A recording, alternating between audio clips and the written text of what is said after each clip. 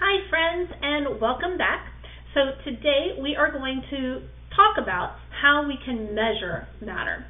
And so to do that, to do our learning today, we're going to read a story in Epic. So I'm going to read it to you. If you ever want to go back and read it on your own, you're always welcome to. You can just log into your Epic account and then type in how do we measure matter. So I'm going to read that with you first. Then I have a Google slide that you're going to make a copy of. And that slide is interactive. There's different things that you can click on on the slide so that you can actually practice using some of the scientific tools that scientists like you and I and others in the world use to actually measure matter. So let's get started with our book and then I'll show you the interactive slide. This book again is called How Do We Measure Matter? What is matter? Matter is everything around us. Matter is anything that takes up space. All matter has mass. Mass is the amount of material or particles in matter. You measure matter to find out more about it. All matter can be sorted into solids, liquids, and gases.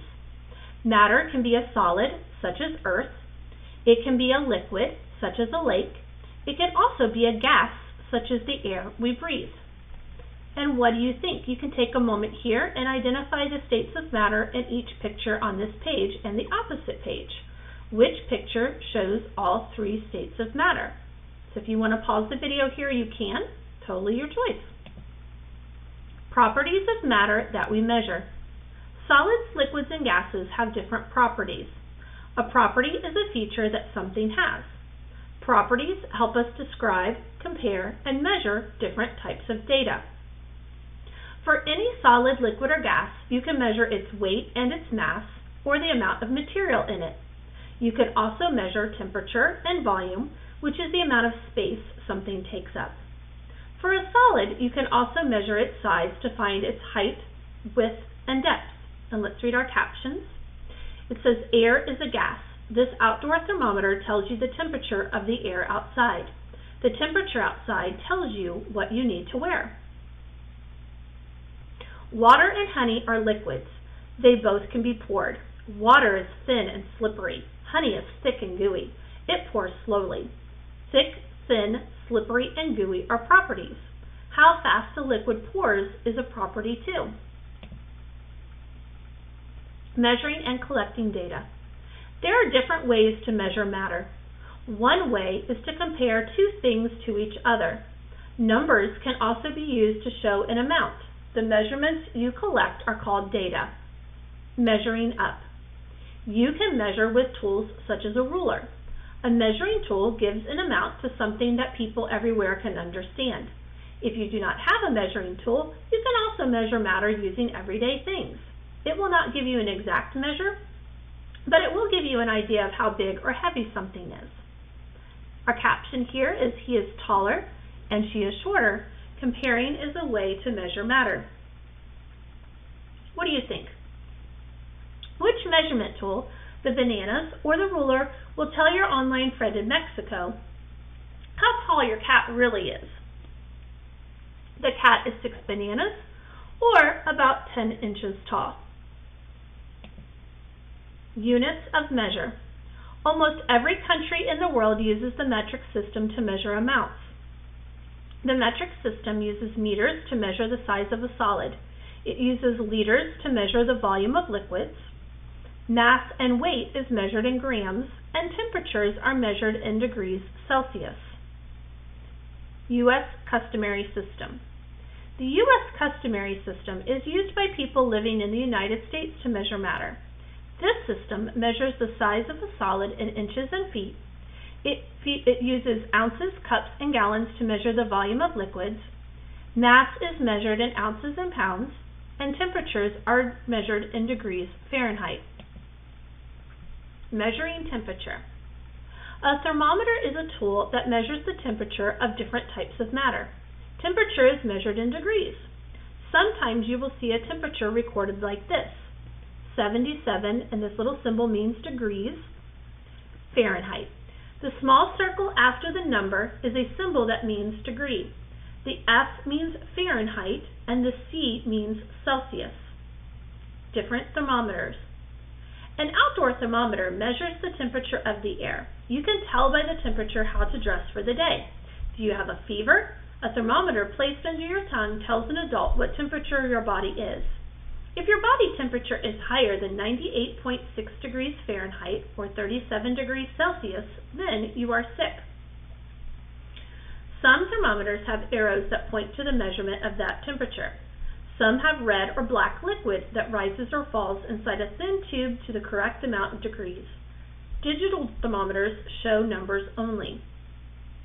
When the temperature of the air outside goes down to 32 degrees Fahrenheit or 0 degrees Celsius, water in the air turns to ice. This means it will snow. And here's something for you to try. Match the temperature to the outdoor activity. Which one of these do you think you would go swimming and which one do you think you would go skiing? If you said 82 degrees Fahrenheit for swimming and 32 degrees Fahrenheit for skiing, you are correct. Measuring volume. Volume is the measurement of how much space matter takes up. Liquids and solids, such as sugar, can be poured and measured in measuring cups.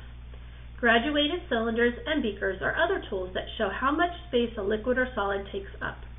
Lines of measurement on each tool give number values for volume in ounces or cups, or milliliters, or gallons, liters. The volume of liquids and some solids is usually measured in ounces. The volume of gases and some solids can be found by water, or excuse me, by liquid displacement. Displacement is the amount of liquid that is pushed out of the way when a solid or gas is pushed down into a liquid. And over here our caption states, Tools for measuring volume are see-through. That way you can see the matter inside the container, as well as the numbers on the outside of it. You read the number at the very top of the matter to find the amount of matter inside. This caption the volume of this orange slice can be found by measuring the amount of water it splashes out of the full ball of water. What do you think? The number value on a bottle or carton of juice tells you the volume, or how much liquid each container holds. Which of these two containers holds more volume? Hint, the letters OZ means ounces and the letter L means liters. Which one of these two do you think holds more? If you said the two liter bottle, the 68 ounces, you are correct. Measuring mass. Mass is the amount of matter in an object. All matter has mass, even a gas such as air. A heavy object has more mass than a light object. A balance is a tool that can measure an object's mass and compare the mass between two objects. Both the mass and weight of an object are measured in ounces and pounds. A scale is a tool that measures weight. It tells us how heavy or light things are. When you place an object in or on the scale, it gives you a number value for what the object weighs. Let's take a look at our caption. You can measure mass using mass pieces, which are objects for which you know the weight. On this balance, the piggy bank is on one side and the mass piece is on the other. You must keep adding more mass pieces until the two sides are level or even the amount of mass in the piggy bank will be the same as the total weight of the mass pieces. What do you think? Look at the objects being compared on this balance. The object is smaller than the beach ball, but it has more mass. Why do you think that is?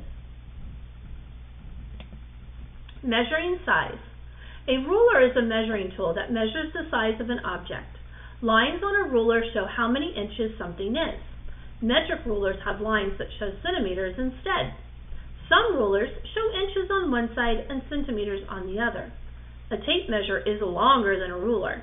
It measures shapes, such as your waist, that cannot be measured with a straight-edged ruler. Solid matter has its own shape, and you can measure how tall, wide, or long a solid is.